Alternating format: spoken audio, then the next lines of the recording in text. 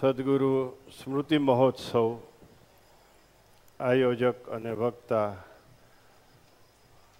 વડતાલ બોર્ડના ચેરમેન શ્રી ઘનશ્યામ પ્રકાશ દાસજી સ્વામી, દ્વિતીય વક્તા સૌરત વલ્લભાચાર્ય સ્વામી, પૂજ્ય ધ્યાની સ્વામી, અન્ય બ્રહ્મનિષ્ઠ સંતો, યશસ્વી યજમાનશ્રીઓ સર્વે ભક્તજનોને જય સ્વામિનારાયણ. મુક્તાનંદ સ્વામીની આ શિષ્ય પરંપરા એટલે દિવ્ય પરંપરા. આ સંપ્રદાયમાં સંતોની પરંપરા, હરિભક્તોની પરંપરા, કેટલાય હરિભક્તો રામાનંદ સ્વામીના વખતના છે.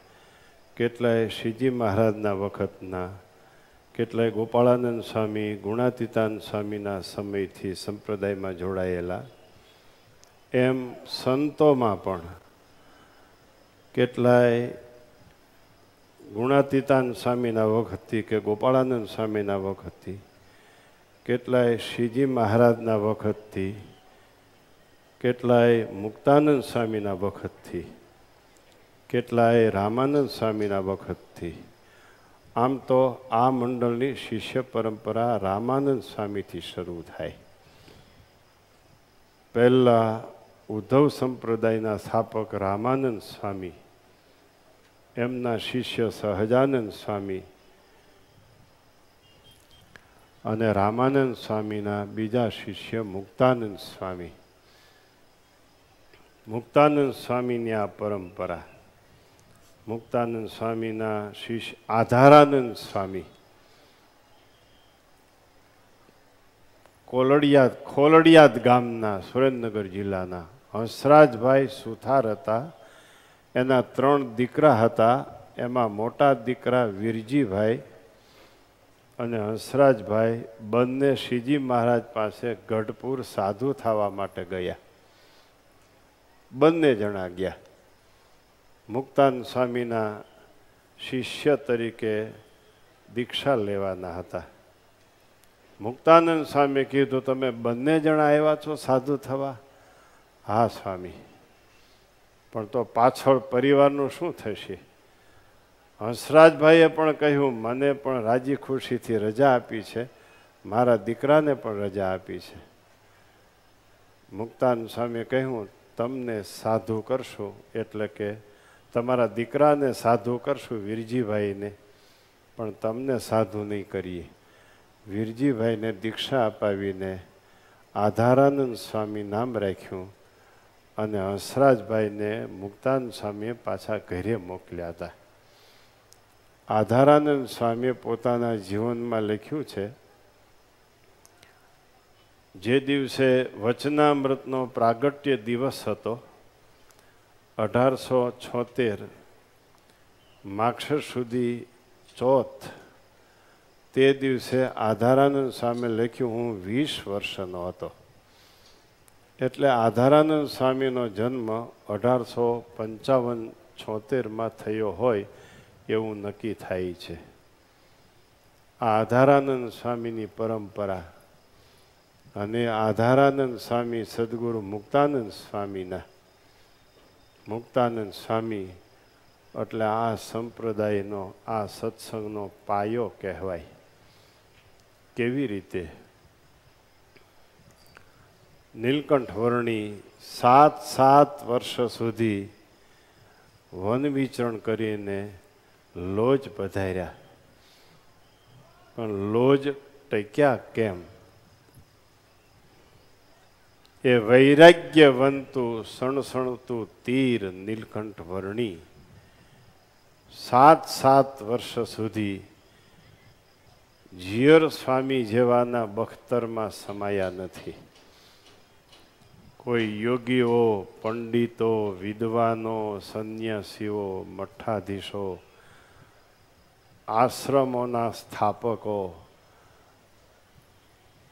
બુટોલ નગરના મયારાણી જેવા રાજમાં પણ રોકાયા નથી. ઘણા ઘણા સંતો, સંન્યાસીઓ, વૈરાગીઓ નીલકંઠ વર્ણિની સાથે વન વિચરણમાં જોડાયા. કોઈ પાંચ માસ, છ માસ, એક વર્ષ, બે વર્ષ રહ્યા. કોઈએ નીલકંઠ વર્ણી સુધી નીલકંઠ વર્ણી સાથે આજીવન રહેવાનો નિર્ણય કરી શક્યા નથી. એ નીલકંઠ વર્ણી લો જ આવ્યા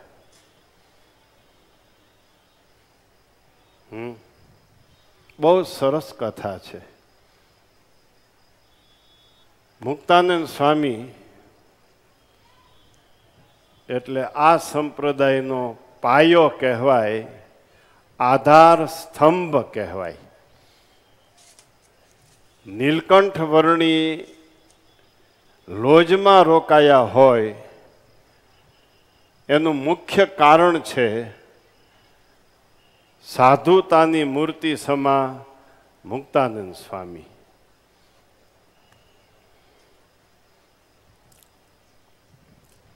રામાનંદ સ્વામીએ ભુજથી કહી મોકલાયું? સત્સંગમાં રહેવાનો ખપ હોય તો થાંભલાને બાથ લેજો. એ થાંભલો બીજો કોઈ નહોતો, એ હતા સદગુરુ મુક્તાનંદ સ્વામી. અને વિશેષ કહ્યું, સંતોને યોગ શીખવજો. સ્વામીની આજ્ઞાથી નીલકંઠ વર્ણીએ અસાધારણ વૈરાગ્ય હતો એ ગૌણ કર્યો વસ્તીમાં રહ્યા. રામાનંદ સ્વામીના દર્શનની તીવ્ર ઈચ્છા હતી એ મંદ કરી લોજમાં રહ્યા. સૌ પ્રથમ પાંચ પ્રશ્નો પૂછવામાં આવ્યા. મુક્તાનંદ સ્વામીને નીલકંઠ વર્ણીએ પૂછ્યા, જીવ ઈશ્વર માયા પરબ્રહ્મ બ્રહ્મ લક્ષણ કહો. ત્યારે મુક્તાનંદ સ્વામીએ કહ્યું હતું, જીવ ઈશ્વર માયા બ્રહ્મ પરબ્રહ્મના લક્ષણો કહ્યા. વિશેષમાં મુક્તાનંદ સ્વામીએ ઉમેર્યું, બહુ સરસ કથા છે. કે વર્ણીજી, અમે અમારા ગુરુ પાસેથી જે જાણ્યું એ તમને કહીએ છીએ, યથાર્થો યથાર્થ તો અમારા ગુરુ જાણે જે ભુજમાં બિરાજે છે. બસ એટલી વાત સાંભળીને નીલકંઠ વર્ણીએ નક્કી કરી લીધું, સાત સાત વર્ષોના વાણા વાઈ ગયા પછી આવો સંતોષકારક જવાબ મળ્યો હોય તો લોજમાં મને જવાબ મળ્યો છે.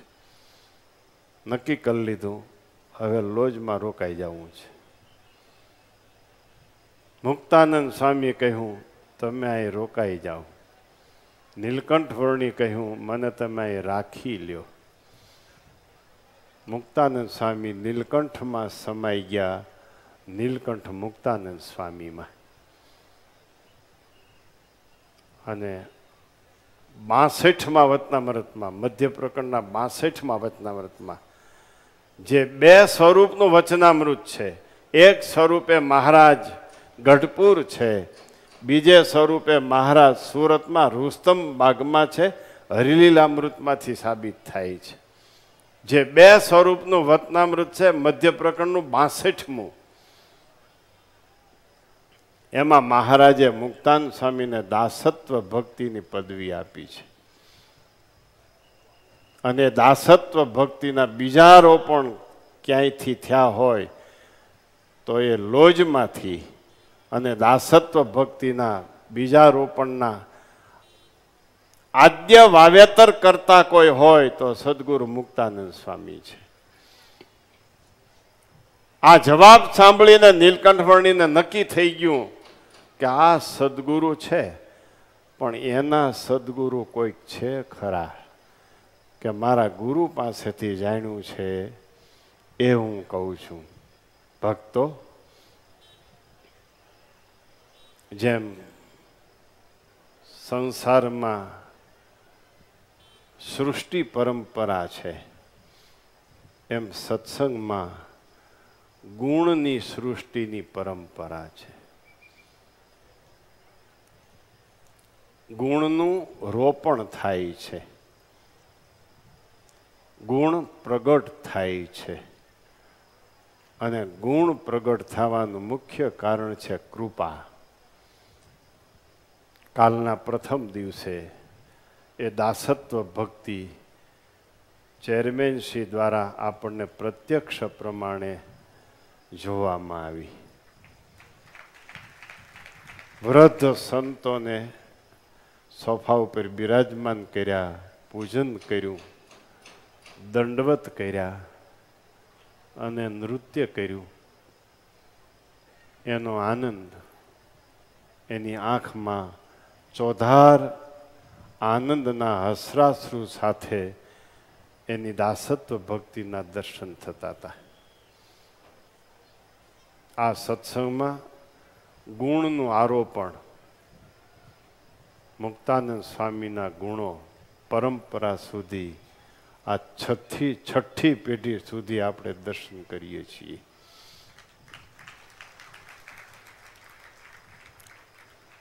પીપલાણામાં મેળાપ થયો હોય, એમાં મોટો યોગદાન મુક્તાનંદ સ્વામીનું છે.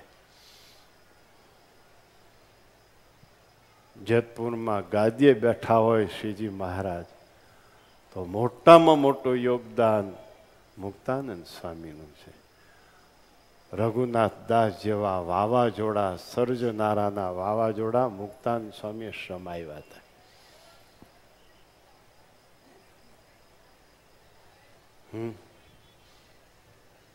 ધીરજનો ડુંગર. ગિરનાર ડગમગે, હિમાલય ડગમગે. અમારા મુક્તાનંદ સ્વામી કદી ન ડગમગે. કોઈ એમ કહેતા હોય કે મુક્તાનંદ સ્વામીને સંશય થયો, એ ભક્ત ચિંતામણીમાં છે, ખોટું નથી. પણ એનો અર્થ અમારા ગુરુ જોગી સ્વામી મહારાજે એવો અમને કરી બતાવ્યો છે કે નિશ્ચય ન હોય, કરવો એ સહેલો. બીજાનો નિશ્ચય હોય એ મટાડીને કરવો એ અઘરો. મુક્તાનંદ સ્વામીને રામાનંદ સ્વામીનો નિશ્ચય હતો. અને પછી શ્રીજી મહારાજનો સર્વોપરી નિશ્ચય થયો, આ મુક્તાનંદ સ્વામીની મહત્તા છે. કોરી પાટી ઉપર લખી શકાય, લખાયેલી પાટી ઉપર કેમ લખો? મુક્તાનંદ સ્વામીએ રામાનંદ સ્વામીનું ઐશ્વર્ય જોયેલું, અનુભવેલું. અને શ્રીજી મહારાજના ઐશ્વર્યના દર્શન કરીને મુક્તાન સ્વામીને નક્કી થઈ ગયું કે રામાનંદ સ્વામી કહેતા હતા એ વાત સાચી છે. હું સર્વોપરી ભગવાન હું છું. સમજાય છે? કેવી રીતે મુક્તાનંદ સ્વામી આ સંપ્રદાયના પાયા સમાન છે? અત્યારે ઘનશ્યામ પ્રકાશ સ્વામી આ આ વરતાલ દેશના પાયા સમાન આપણને નજરે દેખાય છે. જો એના એક એક આયોજનો. એની હિંમત, એની નિષ્ઠા. એનો અફર નિર્ણય. ભવિષ્યના કોઠારીઓ કે ભવિષ્યના ચેરમેનોને ઘનશ્યામ પ્રકાશ સ્વામીનું ચેરમેન પદ પ્રેરણારૂપ બની ગયું છે, પ્રેરણારૂપ બની ગયું છે. આખી હિંમતનું સર્જન છ પેઢી સુધી પહોંચ્યું. અડગ નિષ્ઠા, નિશ્ચળ વિચારધારા અને અડગ ચોક્કસ નિર્ણય શક્તિ મુક્તાનંદ સ્વામીથી લઈને અત્યાર સુધી, છ પેઢી સુધી મૂર્તિમાન દર્શન થાય છે. કોઈ માર માર કરતો આવતો હોય, સદગુરુ ગુણાતીતાન સ્વામી મુક્તાન સ્વામીનું પ્રમાણ કર્યું છે, કોઈ માર માર કરતો આવતો હોય. મારી નાખું, રહેવા દઉં નહીં. મુક્તાનંદ સ્વામીના દર્શન કરે ને એનો ક્રોધ શમી જાતો વચનામૃત જુઓ મુક્તાન સ્વામીના એક એક શબ્દમાં દાસત્વ ભક્તિ નીતરતી દેખાય છે પ્રશ્ન પૂછતી વખતે સ્વામી એમ કે છે હે મહારાજ આ હૃદયનો શબ્દ હૃદયમાંથી ઉત્પન્ન થયેલી દાસત્વ ભક્તિ એ મુક્તાન સ્વામીના વાણી દ્વારા શબ્દમાં મૂર્તિમાં દેખાય છે. બીજું, સત્સંગની માં છે એટલે સત્સંગ પરિવારની એણે ચિંતા કરી છે. વચનામૃતમાં ઝાઝાનામાં ઝાઝા પ્રશ્નો કોઈ પૂછ્યા હોય તો એ મુક્તાન સ્વામીના બાણું બાણું પ્રશ્નો વચનામૃતમાં છે, બાણું પ્રશ્નો. અને ઝાઝામાં ઝાઝા પ્રશ્નો. સત્સંગ પરિવારની મા હોવાથી આખા સત્સંગનું રક્ષણ પોષણ થાય. મધ્ય પ્રકરણનું બાસઠમું વતનામૃત મહારાજ, તમે કહ્યું. એ તો બહુ કઠિન છે, ત્રણ અંગ સિદ્ધ થવા. આ તો લાખો ભક્તો સંપ્રદાયમાં છે. એ બધા આ ત્રણ અંગ કેમ સિદ્ધ કરી શકે? જો જો પ્રશ્નની ઝલક જુઓ. આખા સંપ્રદાયમાં નાનામાં નાના સંતોની ચિંતા કરીને મુક્તાન સ્વામીનો પ્રશ્ન પૂછાયેલો છે. આવા તો વચનામૃતમાં અનેક પ્રશ્નો છે. ત્યારે મહારાજે કહ્યું હતું આ ત્રણ અંગ જેનામાં હોય, એનો દાસનો દાસ થઈને રહે ડિસ્કાઉન્ટ કાપી દીધું જો, મુક્તાન સ્વામીના કહેવાથી. તમે તમારા ગ્રસ્થાશ્રમમાં પિતાશ્રી છોકરા ઉપર રૂઠ્યા હોય, પણ મા કે માફી કરો એટલે માફી આપી દે. મુક્તાન સ્વામીના કહેવાથી વચનામૃતમાં અનેક કઠિન સાધનો મહારાજે કહ્યા હોય, મુક્તાન સ્વામીની પ્રાર્થનાથી શ્રીજી મહારાજે ડિસ્કાઉન્ટ કાપી દીધું છે. અહીંયા કીધું છે, ત્રણ ગુણ સિદ્ધ ન થાય, કઠિન છે, પણ ત્રણ ગુણ જેનામાં છે, દાસત્વ ભક્તિ, આત્મનિષ્ઠા અને પ્રીતિ. આ ત્રણ ગુણ જેનામાં છે, એનો દાસાનો દાસ થઈને વર્તે. તો ત્રણ ગુણ જેનામાં છે એવી એની પ્રાપ્તિ થાય. આ મુક્તાનંદ સ્વામી મા હોવાથી આખા સંપ્રદાયનું રક્ષણ પોષણ કર્યું છે. અને માતૃત્વ ભાવના દર્શન આપણને અત્યારે ખરેખર ઘનશ્યામ પ્રકાશ સ્વામીમાં થાય છે. અનેક પ્રવૃત્તિઓ હોવા છતાં નાનામાં નાની સંસ્થા નાનામાં નાના સાધુઓના આમંત્રણો સ્વીકારે છે. દિલથી ફૂલ ટાઈમ ક્યાંક ફૂલ ટાઈમ પણ આપે છે. અને મોટી વાત તો એ છે અવડો મોટો વ્યવહાર હોવા છતાં એ અને એના સંતો વ્યવહારની કેટલીક બાબતોથી અલિપ્ત રહ્યા છે, એ નોંધનીય બાબત છે.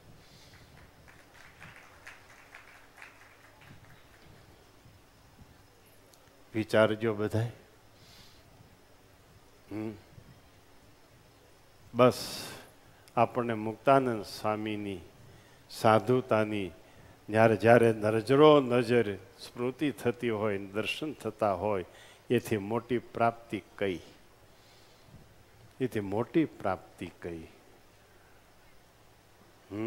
નંદ કિશોર સ્વામી પાસે રહ્યા નથી આપણે જાણ્યા નથી.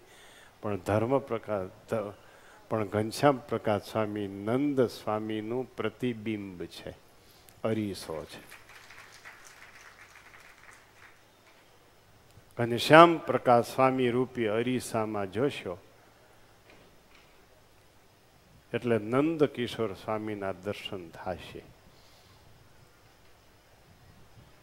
બહુ મોટી પ્રાપ્તિ આપણી છે. હવે આઘા પાછા બહુ થતા નહીં ક્યાંય બહુ ભાઈ, માન સન્માન કે ભભકામાં ફસાઈ જતા નહીં.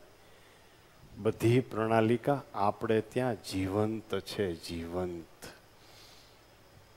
કાલે સ્વામીએ પોતે જ કહ્યું છે, આપણે પ્રસન્ન કરવાની જ પ્રસન્નતા મેળવવાની બાકી છે, ગોતવા જવાની જરૂર નથી.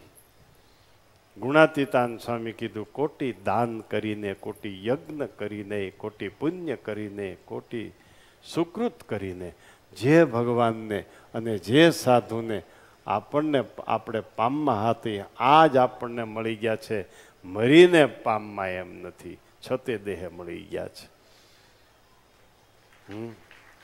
હવે ડૉક્ટર કીર્તનકાર ચંદુભાઈ રાઠોડ રચનામાં કહી ગયા છે, પૂર્ણપણામાં અપૂર્ણપણું એ નિત્ય નિત્ય શ્રીજીને રીઝવવા હવે આપણે પૂર્ણ જ છીએ.